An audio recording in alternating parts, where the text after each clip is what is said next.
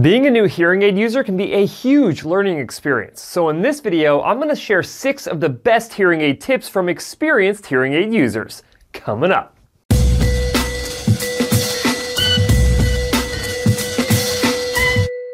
Hi guys, Cliff Olson, Doctor of Audiology and founder of Applied Hearing Solutions in Phoenix, Arizona. And on this channel, I cover a bunch of hearing related information to help make you a better informed consumer. So if you're into that, make sure you hit that subscribe button. And don't forget to click the bell to receive a notification every time I post a new video.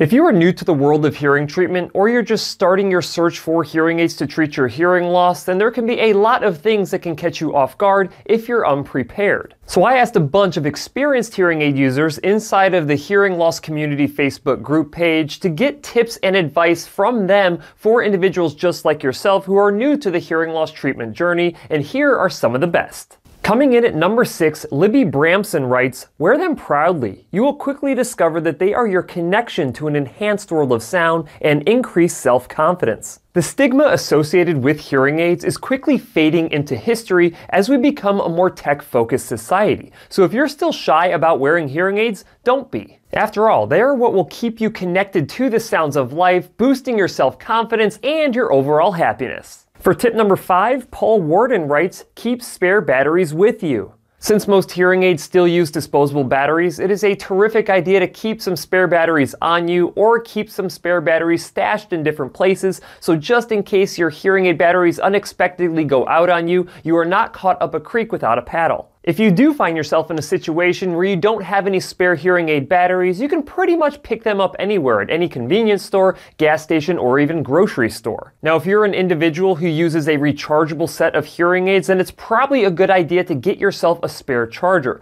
A lot of hearing aid manufacturers have chargers that are smaller than the types of chargers that you keep at home, so you can put them in your purse, you can put them in your vehicle, you can keep them at work. So if you ever find yourself in a situation where you run out of a charge, you're not too far away away from being able to charge up your hearing aids really quick to get you through the rest of the day. And number four, Rick Gus Morrison simply writes, stay dry. And Rick is absolutely correct. Moisture is the enemy of electronics, and even though most hearing aids today are made with an IP67 or IP68 rating, which indicates that they are really high from a dirt and debris and moisture resistance standpoint, it is always a good idea to keep your hearing aids as dry as possible to ensure that they have the longest longevity and the highest sound quality possible. I typically recommend two different types of products for moisture removal. The first one is an active moisture removal system like the Zephyr Dry and Store. The Zephyr Dry and Store will force air through through your hearing aids at 104 degrees and it will suck that moisture up inside of a dry brick and then you replace that dry brick every two months. This unit is great for individuals who sweat a lot and for individuals who may tend to jump in the pool or jump in the shower with their hearing aids because it is significantly more effective at removing moisture than just sticking your hearing aids in rice. The other option that you have is a passive moisture removal system like the Westone Hearing Aid Saver. This uses silica beads at the bottom of the container. When you take your hearing aids out and put them inside this container at night when you go to bed, it will pull any moisture from those hearing aids overnight. This container is really good because it's perfect for traveling. It's a little bit smaller than that bulkier Zephyr unit, and you can actually recharge those silica beads by taking them and putting them in the microwave when they get completely saturated, and you can dry them back out and make them just just like new again. I will have these products linked in the description below if you do want to check them out for yourself. At number three, Karen Steert writes, start slow when using an aid for the first time. Two hours a day and work up. It takes time to adapt to new hearing aids, and it can be mentally fatiguing and even physically fatiguing by the end of the day. So do yourself a favor and start slow if you have to. Start out with a couple hours and work your way up by adding a half hour to an hour each day of wear time until you get to 8 hours or over every single day. It can take your brain up to 30 days to adapt to hearing aid treatment, so you want to make sure that you take that time slow, don't get discouraged, and by the end of that time, trust me, you will do significant significantly better with your hearing treatment. For tip number two, Chris Weirgau writes, you must receive several adjustments to get good hearing.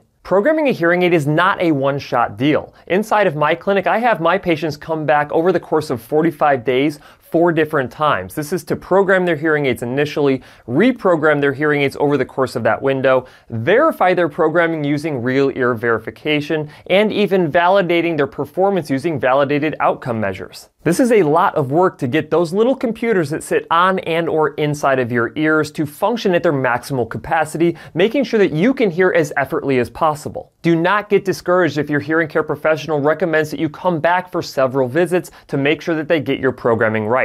In fact, it is a red flag if your hearing care professional doesn't request that you come back at least a few times in the first month or two to make sure that they're maximizing your hearing aid performance based on what your specific needs are. And tip number one is from Gary Huber. I hope I didn't butcher that name too bad, who writes, advocate for yourself. If you have a hearing loss, you need to be your biggest advocate. This means that if you are in a situation where you are struggling to hear, you need to speak up and ask either the individual or group of individuals who you are communicating with to change the way that they're communicating with you. Tell them that they need to increase the volume of their voice. Tell them that they need to face you and get your attention before they start talking to you. But it is your responsibility to make sure that your environment is set up the best it can possibly be for you to hear better. This means that if you're in a public venue like a movie theater or a church and they do not have a hearing loop installed so you can use the telecoil inside of your hearing aids, then you need to rally other individuals who have hearing loss that go to those same places so you can encourage whoever is in charge of those facilities to get a hearing loop installed. Being an advocate for yourself also means that if you feel like you are not hearing your best with your hearing treatment, you need to go back to your hearing care professional and tell them that you don't feel like you're performing where you should be.